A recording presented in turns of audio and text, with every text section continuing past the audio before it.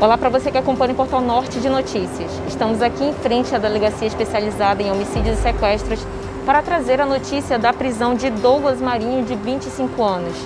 Ele que matou o irmão na frente do pai no dia 29 de junho, na rua Antônio José Saraiva, no bairro Compensa. Quem traz mais detalhes sobre esse crime é a delegada titular da DHS, Marília Campelo.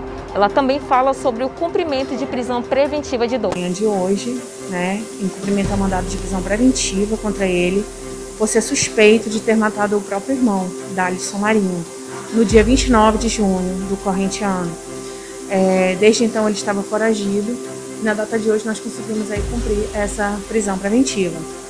É, o que, a motivação fica um pouco não, não tão clara, porque sempre houve discussão entre ambos. Né? Nesse dia houve mais uma discussão e o suspeito resolveu então aí se armar e ceifar a vida do próprio irmão. Fato esse presenciado pelo pai de ambos. Não, o pai não saiu ferido porque foi tudo rápido. Após o disparo, o Douglas, o suspeito fugiu do local. A mãe também já foi ouvida aqui na delegacia, né? Uma situação trágica e triste para a família inteira. Eu sou Seima Monique, do portal Norte de Notícias.